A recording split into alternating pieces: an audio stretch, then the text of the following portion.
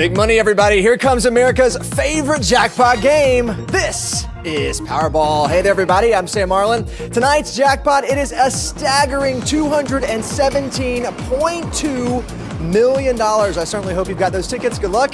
It's time to play some Powerball. First number up is 36.